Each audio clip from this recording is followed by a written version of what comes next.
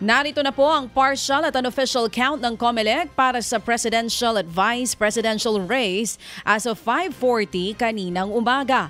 Napanatili ni Bongbong Marcos ang unang pwesto sa pagkapangulo na may 31,103,670 votes.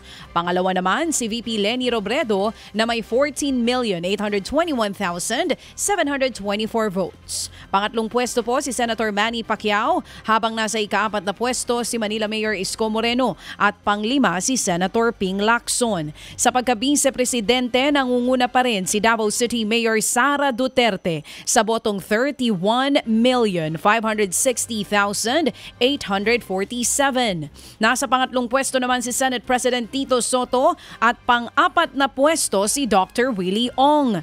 Muli, yan po ay partial and unofficial tally at tuloy-tuloy pa rin po ang ginagawang manual encoding ng PPCR survey at COMELEC sa naging resulta ng halalan.